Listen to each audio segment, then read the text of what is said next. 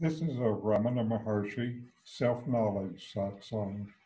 The focus is on self-knowledge, since self-knowledge is what brings self-realization, the deep experiential knowledge of your own existence.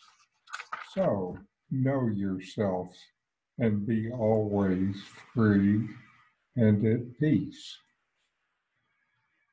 Welcome. I'm Richard Clarke, hosting this satsang.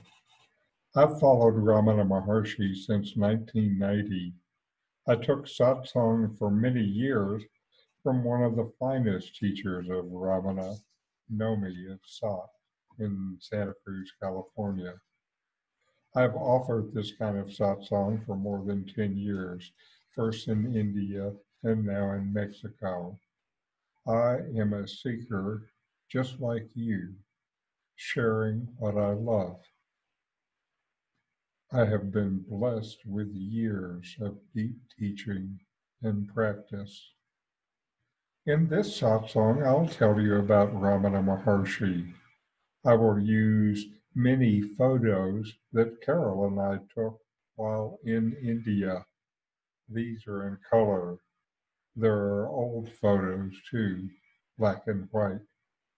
I will trace his life from birth in a small town in South India to his remainder of his life in Arunachala and his Mahasamadhi in 1950.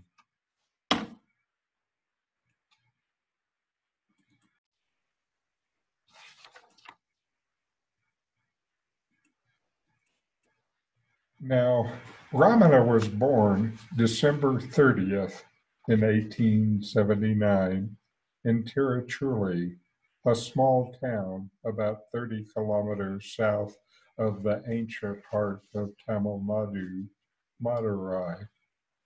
He was born into a devout Brahmin family and given the name Venkataraman.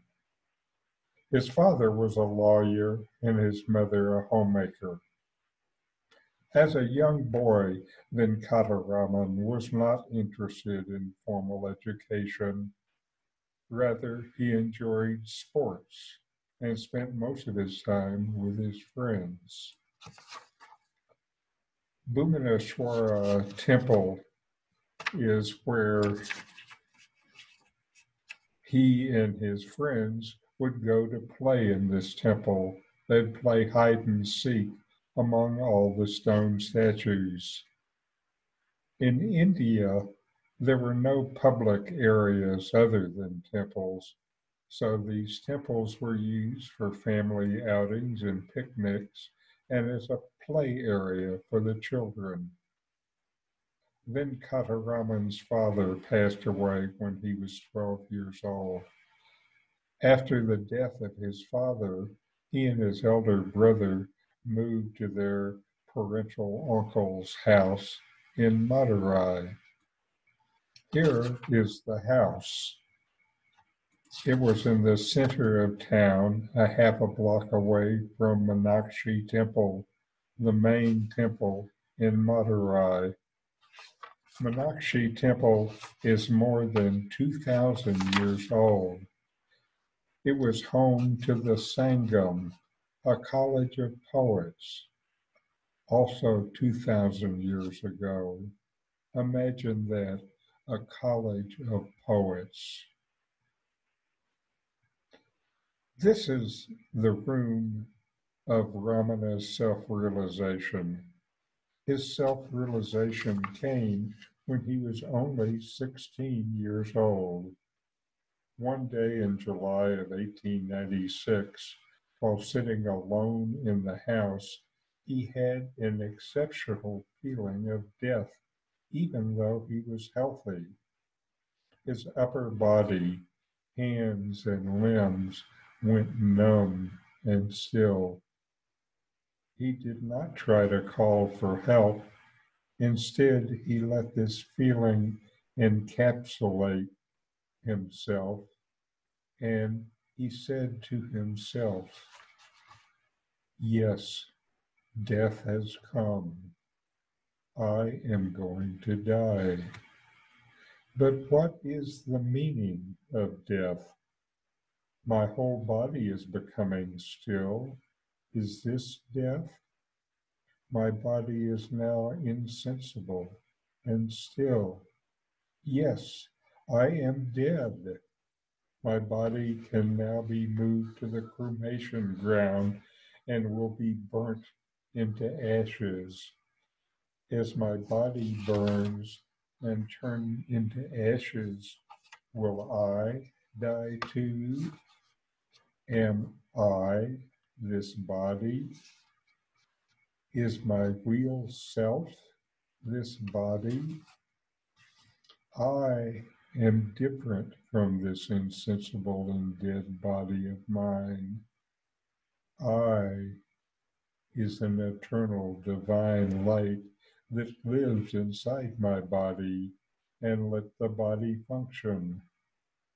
The physical body is dead, but even this death cannot kill the I that lived inside this body all the while because I is indestructible and eternal.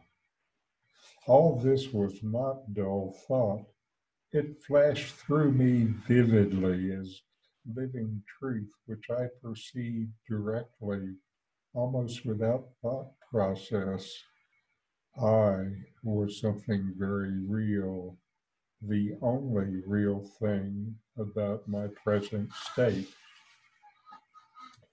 Later on, Sri Ramana Maharshi recalled this incident and said, Since this experience of death, I had no interest in studies at all. I felt distanced from my old loved ones. I would open and hold a book as if I'm reading it, but immerse myself in thoughts of God. I noticed that the sense of peace, equality, and reverence started growing in me day after day. I spent most of my time meditating. Sometimes my brother, who noticed me meditating, would make fun of me. I ate any food that was given to me. The taste of food did not matter to me anymore. In the past, I went to the temple for leisure, but then on, I started going to the temple with more awareness and spirituality. I did not know much about what life really was, neither did I know what was Brahman or worldliness. However, gradually this incident helped me to think deeper about spirituality, God, the universe, and the self. His brother told him that if he was going to act like this, he should just go live with the sadhus, Indian holy men. Ramana agreed inside himself, and a few days later left his home and family, leaving a note that was signed this. Imagine getting a going away letter from your 16 year old son signed this. Ramana took money intended for his brother's school fees, departed his home, and walked to the railroad station he got a ticket for what he thought was the closest station to Tiruvannamalai, the location of his destination, the ancient mountain Arunachala, which he felt drew him to it. His ticket was to Vilupuram, about 35 miles from Tiruvannamalai. When he got there, he set out walking. After about 20 miles, he came to this place, an ancient temple, a Ranalur temple, a Shiva temple. He asked for food and to stay the night and was refused. Before he left, he sat down and started meditating, and the temple was filled with light. The same thing had happened here more than a thousand years ago when a Tamil saint, Sambandar, sat in this same place. Ramana got some food and a place to stay the night. He also found out that there would be a train to Tiruvannamalai the next day. He sold the only thing he had, a ruby earring, for money for the train. This photo is maybe what he saw out the window of the train. In the distance, Arunachala, his destination. When he arrived, first he went to a tank outside the temple, Ayan Kulam tank. Before you enter a temple, you should bathe and be clean. Ramana did this and threw the rest of his money into the tank along with part of his clothes. He wouldn't need them anymore. He then entered the temple. It was most unusual.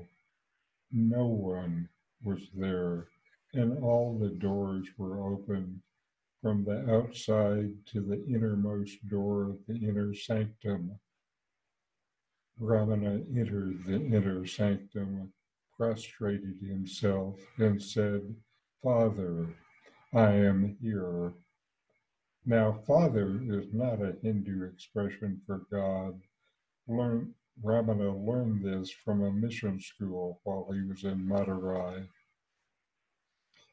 He later told his family that when he left, all the doors closed behind him Ramana never talked about these things, these powers. In India, they're called siddhis. And Ramana always said that siddhis were for the ego. He wanted followers to pay attention to his teachings and not become fascinated by powers. For a period of weeks, he just sat and meditated. People saw the young Swami and brought him food. Other children, being children, tried to disturb the young Swami, throwing rocks at him and worse. To get away from this, Ramana found a shrine under the temple that was full of insects and spiders. The children were afraid of spiders, so Ramana went down there and stayed for weeks. He stayed so long that when people came and removed him from the rocks, insects had burrowed into his legs. Ramana tried to find places where he would not be bothered. One place was about a mile away from the big temple, Gurumurtam Temple. People discovered he was there, and soon many came to get spiritual benefits by feeding a Swami. So many came that they got into fights over being next in line. So Ramana left to a nearby mango orchard that had a fence around it, and he would not be bothered. At this time, Palani Swami wanted his attendant wanted to know more spiritually. So he went to the spiritual library at the big temple and found some books like Yoga Vashishta and Shankara's crest jewel of discrimination. He couldn't understand them and asked Ramana for help. This is how Ramana was first exposed to the classics of Advaita Vedanta. After he read them, he was amazed to find his experience described in books. Next, Ramana went to a small temple on a hill next to Arunachala, Pavalakanru. About this time, Ramana's mother found out where he was and went to bring him home. She found him at Pavalakanru. Since he was still not talking, he wrote his response on a slip of paper.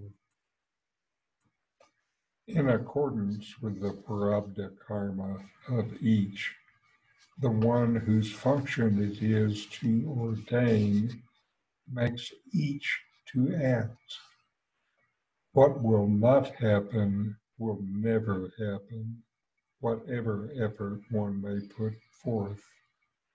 And what will happen will not fail to happen, however much one may seem seek to prevent it. This is certain. The part of wisdom, therefore, is to stay quiet. She returned home without her son. Ramana continued to try to find places where he would not be bothered. He stayed in different caves and shrines. One of these is pictured here Guhai Nameshivaya temple. It was here that the dialogue that would become the book Who Am I happened. Ramana went further up the hill Arunachala, finally to another ancient place, Virupaksha cave. This photo is of Ramana sitting in front of the cave. He was to stay there from 1899 to 1916. During this time, he wrote the first of several devotional hymns a marital garland of letters to be sung by his followers as they walk through the town asking for food donations. It has the refrain, now well known. Arunachala Shiva, Arunachala Shiva, Arunachala Shiva, Arunachala. Arunachala Shiva, Arunachala Shiva, Arunachala Shiva, Arunachala. And verses like this Arunachala, thou dost root out the ego of those who meditate on thee in the heart. O Arunachala. Arunachala, thou dost root out the ego of those who dwell on their spiritual identity with thee. O Arunachala. Now, this is what the entrance to Virupaksha cave is like today. In 1912, Ramana had what is called the second death experience. He set out from Virupaksha cave one morning for Pachaiamman Koil, accompanied by Swami and others. He had an oil bath there, and coming back, he neared Tortoise Rock. On the way back, when a sudden physical weakness overcame him, he described it fully afterwards. The landscape in front of me disappeared as a bright white curtain was drawn across my vision and shut it out. I could distinctly see the gradual process. On experiencing this, I stopped walking lest I should fall. When it cleared, I walked on. When darkness and faintness came over me a second time, I leaned against a rock till it cleared. The third time it happened, I felt safer to sit, so I sat down near the rock. Then the bright white curtain completely shut off my vision. My head was swimming and my circulation and breathing stopped. The skin turned a livid blue. It was the regular death hue, and it got darker and darker. Vasudeva Shastri, in fact, took me to be dead and held me in his arms and began to weep aloud and lament my death. My usual current of awareness still continued in that state also. I was not in the least afraid and felt no sadness at the condition of my body. I had sat down near the rock in my usual posture and closed my eyes and was not leaning against the rock. The body left without circulation or respiration still maintained that position. This state continued for some 10 or 15 minutes. Then a shock passed suddenly through the body and circulation revived with an enormous force, and breathing also, and the body perspired from every pore the color of life reappeared on my skin. I then opened my eyes and got up and said, Let's go.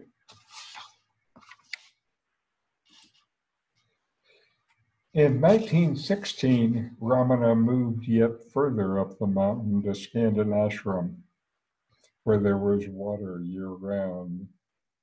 Here, his mother joined him and started making meals which have been offered freely to all who come ever since. This is still done today, more than 100 years later. He accepted his mother and became her spiritual teacher. As her death neared in 1922, after the violent gasps began, Bhagavan placed his right hand on her heaving heart and the left one on her head. He looked at her intensely. The day passed that way. Subsequently, Bhagavan himself narrated what had happened like this the latent tendencies and thoughts, which are the cause of future births, flared up. She had just then lost consciousness of the external world. Hence, in the subtle world, her subtle body was witnessing scene after scene of what was to happen by this sequence of experiences, the soul went through the future birth and traveled towards the highest. Ramana declared that his mother realized the self at the time of death. So instead of cremation, she should be interred like an Indian saint. Per tradition, no burials were allowed on Arunachala, so they carried her body down the hill and buried it with appropriate ceremony and built a small shrine over the grave. Ramana moved from Skandashram and stayed by his mother's samadhi. This was to become Ramanashram. Ramana never left until his death in 1950. This is the old hall at Ramanashram. Ramana spent his days in here, sitting with visitors and answering their questions. Ramana said his highest teaching was silence. For those where this was not enough, he would sometimes answer questions. Many of these are found in books like Talks with Ramana Maharshi and Day by Day with Ramana Maharshi. In 1950, as death neared, thousands of visitors came each day. Ramana made sure he was available so all could see him here is Ramana on his deathbed. When tearful devotees expressed their sense of great loss, Ramana said, I am here. Where can I go? Upon his death, he was interred and a shrine built over his grave. This shrine is now the Samadhi Hall and it's full of visitors every day now. Now on to our videos for this week. This video was made by a friend and I made a small contribution in photos. I got to know most people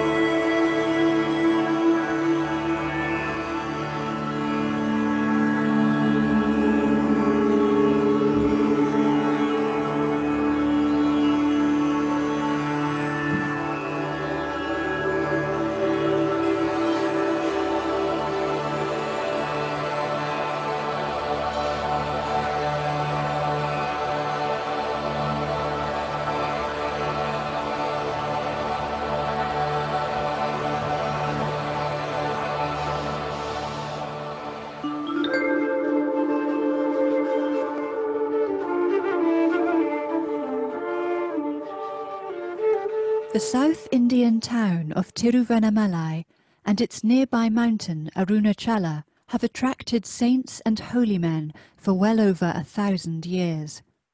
A hundred times older than the Himalayas, this mountain has been declared by Hindu scriptures to be a manifestation of Shiva himself.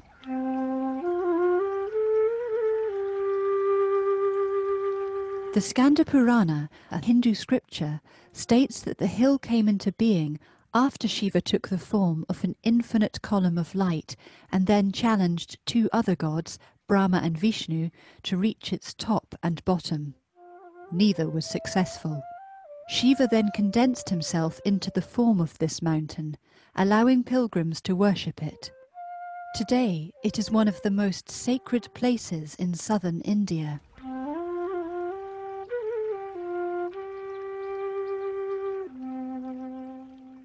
1896, a 16 year old schoolboy walked out on his family and, driven by an inner compulsion, slowly made his way to Tiruvannamalai.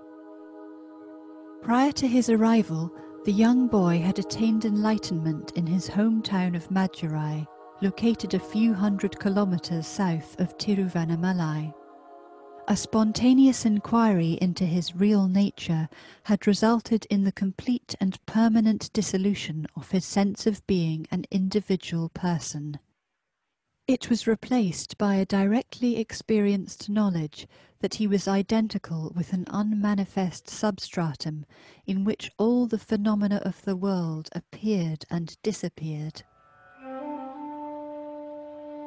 On his arrival to Tiruvannamalai, he threw away all his money and belongings and presented himself to the god in the temple. Afterwards, he remained in its precincts, abandoning himself to a recently discovered inner awareness of the divine that he felt to be the inner light of his own true being, a state that he later termed consciousness or the self.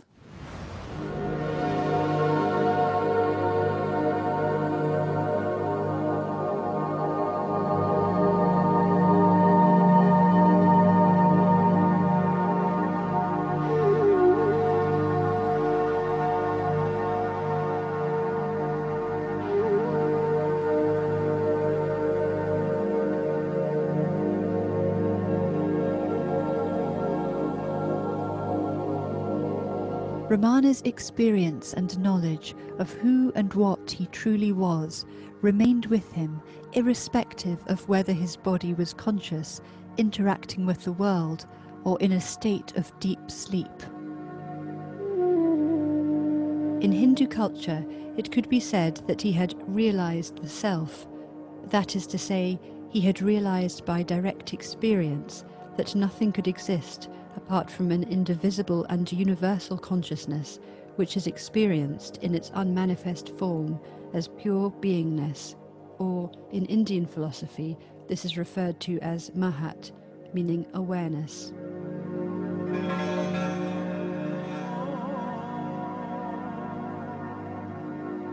In its manifest form, it is the appearance in consciousness of the universe. Normally, the full recognition of this awareness is known only through spiritual practice or grace after a long and arduous period of effort, but in his case it happened spontaneously, without prior effort or desire. Ramana became oblivious to the needs of his body, which wasted away as he was rarely conscious enough to eat or attend to its needs. Insects ate away his thighs, but the bliss of his inner experience was so intense he never noticed the disintegration of his body. After three years of living like this in various temples and shrines in Tiruvannamalai, he began a slow return to physical normality, a process that was not completed for several years.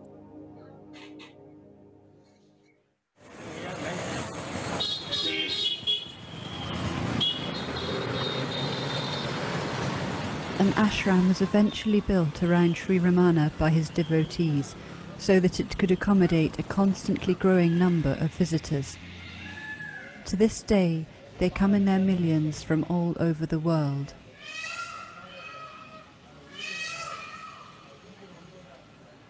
Sri Ramana spoke very little, preferring instead to communicate the essence of his state through silence.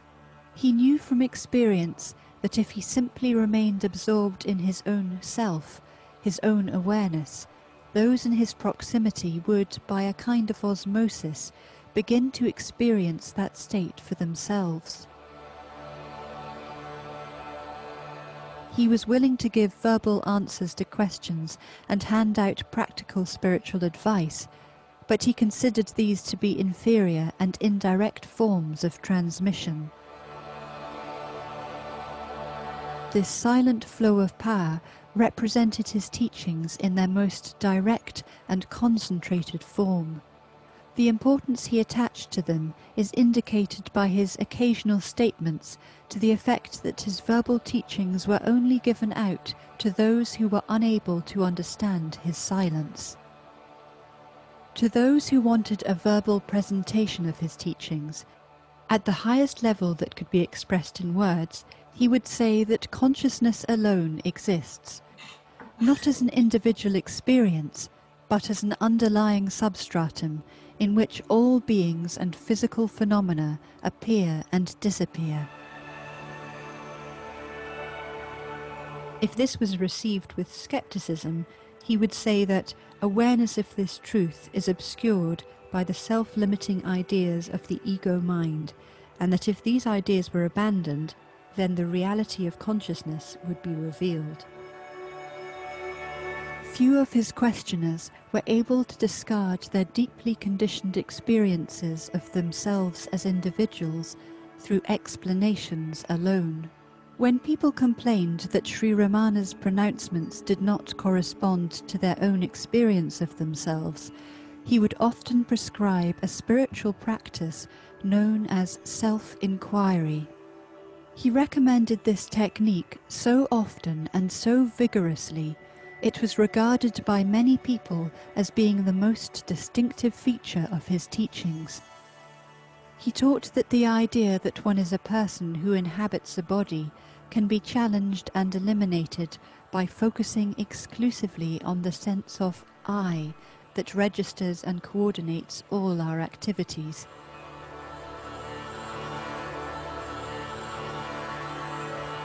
When one thinks, I am angry, or I see a tree, or I am a lawyer, there is an I that believes it experiences all these things. Sri Ramana taught that this is an error that arises simply because we never look at or challenge the underlying I that has all these ideas. A vigilant focus on the I and not on the things it thinks about causes the sense of being a person to diminish and die, leaving a true knowledge of one's self. Abiding as what remains when the individual I has vanished is known as self realization or liberation. Going against the established Hindu tradition, which promotes the idea that renunciation of one's family life is essential for those who want to progress spiritually, Sri Ramana taught that this method of self-inquiry could and should be practiced in the midst of one's ordinary everyday life. He also advocated complete and unconditional surrender to the divine and said that these two methods self inquiry and self surrender were the only two effective methods for attaining liberation.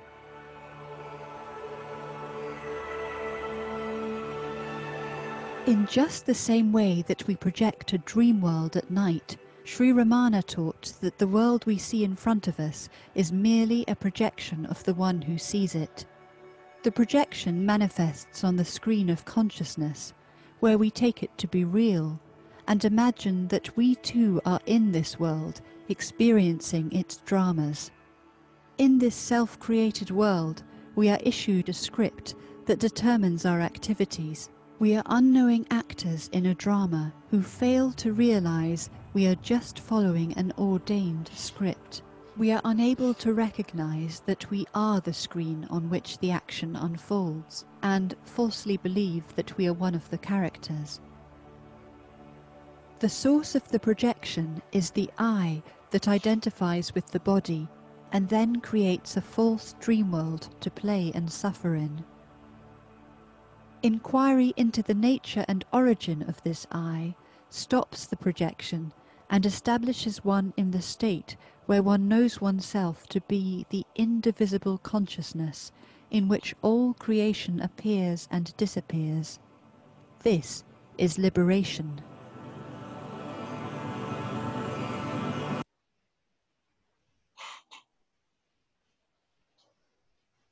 And next we'll listen to a talk from Nome.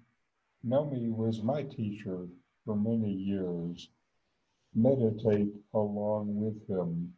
He wants you to experience what he's talking about. Experience it, not just think about it.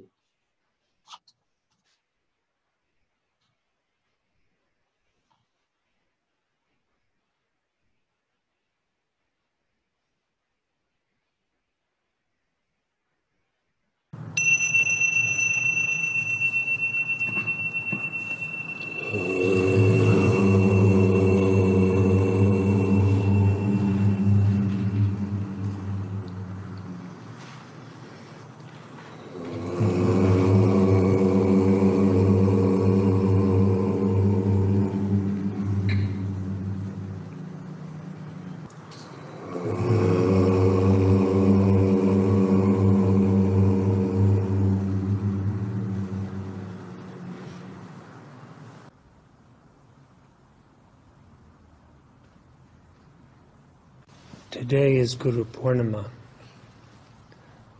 Yet the Purnam, or perfection, the perfect fullness of the Guru, Sri Bhagavan, is always. Who is Sri Ramana?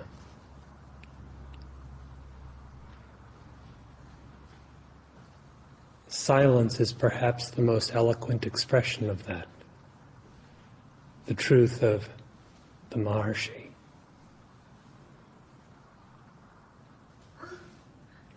In order to know him as he is, why this is knowing God as God is.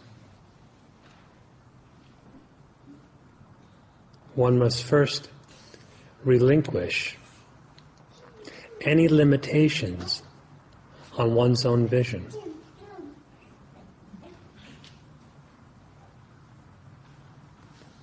Approach as a body, one sees a body. Approach as an individual, one sees some other kind of individual.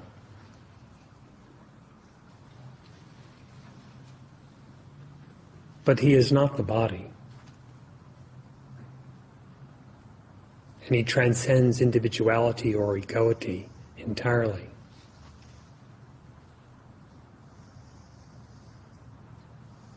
The removal of one's own definition by virtue of inquiry into oneself or by deep devotion results in an absorption in the truth that he is. That is the truth of the self.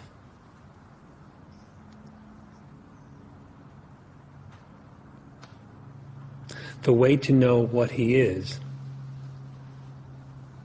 is to know your own being. Of course, is by his grace and his teachings put into practice. That is, by self inquiry and its resultant self knowledge that you know yourself.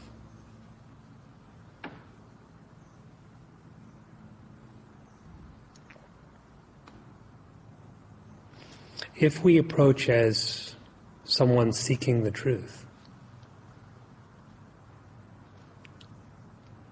then he is the guru that reveals the truth, a sadguru, a true guru that reveals the truth.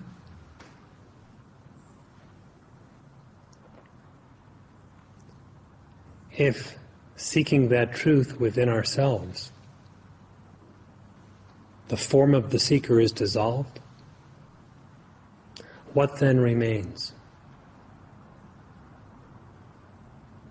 The greatness of that, the bliss of that, the truth of that cannot be conceived, much less described.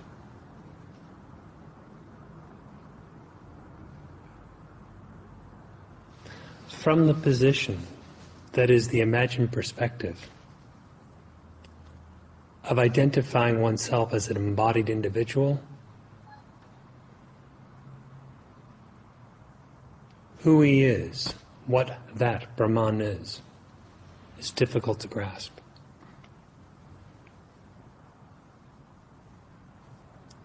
If the I am the body conception is abandoned, and the ego is destroyed by seeking its source, by knowing its nature. Then the truth of Sri Ramana is self evident. To whom is it self evident? To him, of course. Because if this truth is realized, that is the truth of the self within you, if the self that he knows and declares himself to be is realized within yourself, there remains nothing to you but him, that, the one absolute. Again, as long as we think in terms of individuals, this would seem utterly impossible. Abandon the false ego notion by inquiry to see what it is, and what's being indicated is self evident.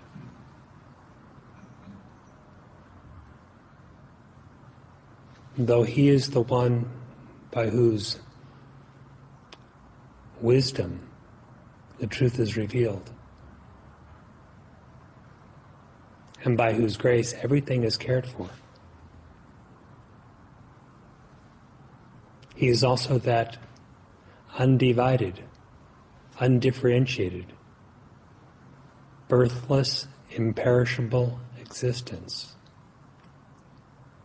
which is the only reality.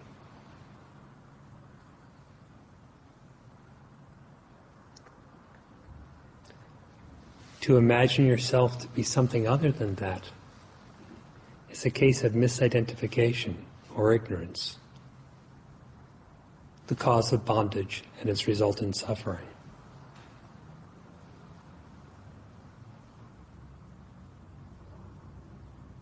Meditating on the teaching he has imparted about knowing oneself,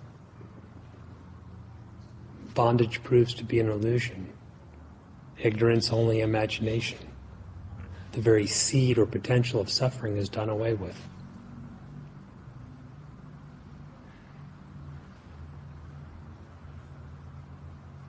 And the ability to misidentify is utterly lost.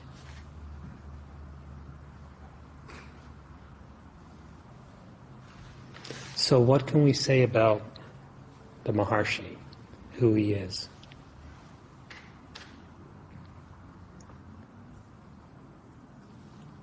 He is a jnani, a great sage. Yes, but more than that.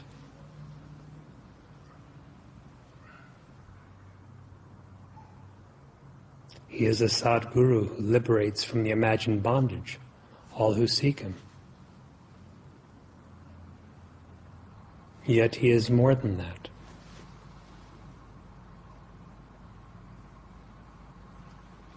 He stands as that which transcends the three states of waking, dreaming, and sleep. That is, stands beyond the mind and the body and the senses and everything else, including all the forms of this world.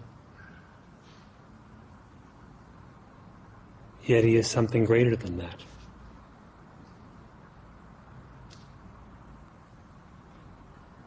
He is that which is unborn and indestructible the timeless, the spaceless.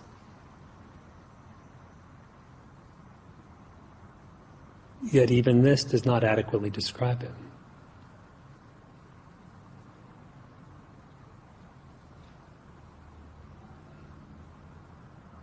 Consider this the next time you use his name, think about him, read a book about him, read something of his teachings.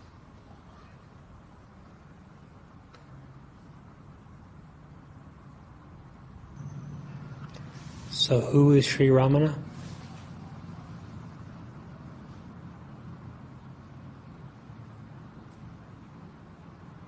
You had best find that out within yourself.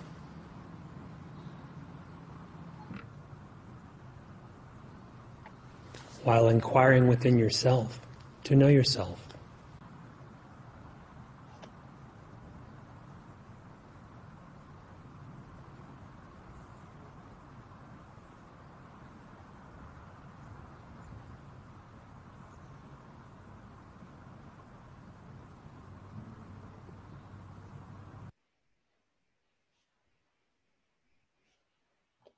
Now we'll take a few minutes and meditate, inquire ourselves.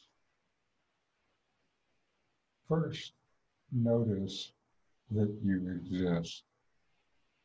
You exist and you know that you exist. And this knowledge is deeper than the senses or the mind. And following Ramana's instructions, inquire where does this sense of I come from? Is it from the body? Does the body say I? You know your body. Does the body know you?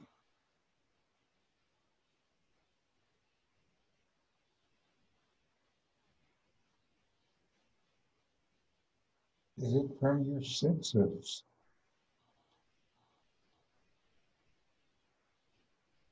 You know your senses.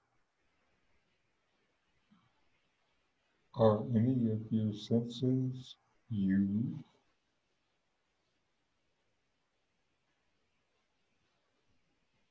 About the flow of breath and the flow of energy in your body? You're beating heart. You know your breath. Does your breath know you?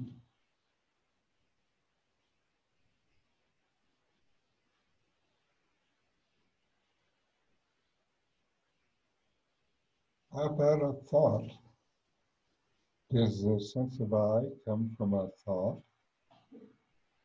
Which thought is it that is you? If not an individual thought, maybe a cluster of thoughts working together is you. You know these thoughts the thoughts have power only that you give them. So you're not thought. How about the intellect, which weaves all these thoughts into more substance, into a world into your own ego view of yourself as an isolated and separate human being. You know these thoughts too. Without your knowing them, they have no power.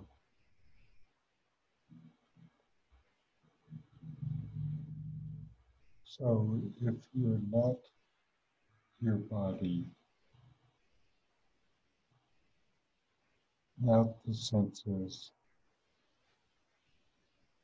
not the life force, not a thought or a set of thoughts, not the intellect, and not even the idea of the individual person, then just who are you?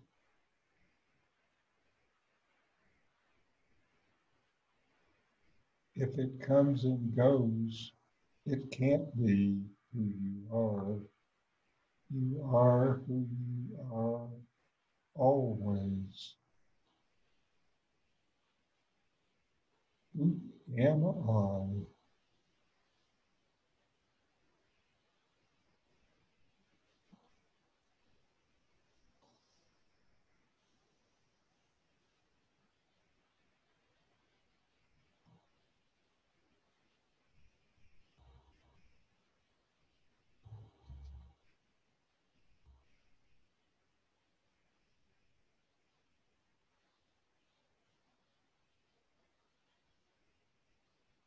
And we'll close with a short chant. Oh.